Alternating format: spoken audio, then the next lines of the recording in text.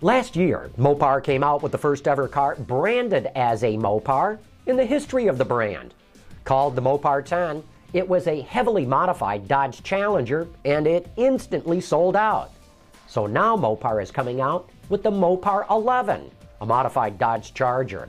We asked Pietro Gorlier, the CEO of Mopar, to take us through the car and show it what it has.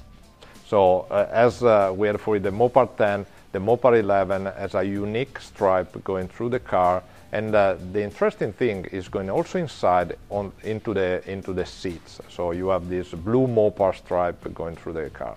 We have uh, unique 20 inches wheels that we took from the Challenger and we repurposed with a different color for the Mopar, Mopar 11. We have obviously the Mopar badge both uh, on the front and the inside with the serial number.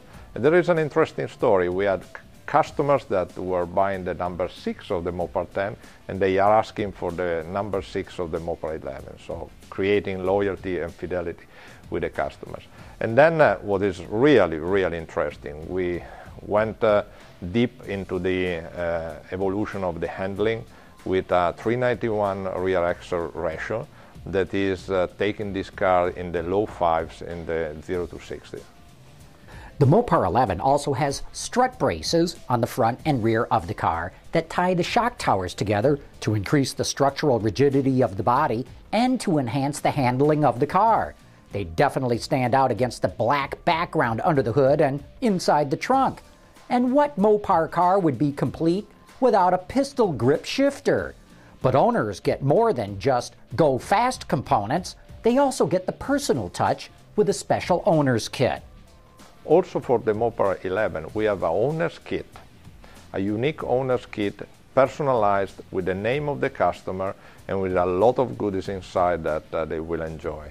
In, and also with some memorabilia that uh, uh, goes back to the heritage of Mopar and uh, the heritage of the Charger.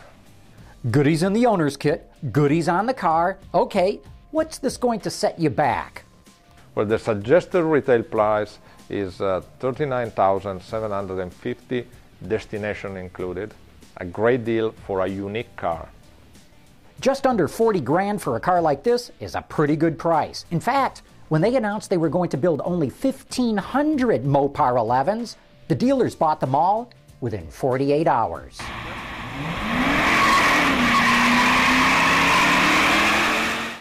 Dow Automotive Systems, driving solutions in automotive, commercial transportation, and aftermarket with innovative products like Betamate structural adhesives. Lighter, stronger, safer. DowBetamate.com.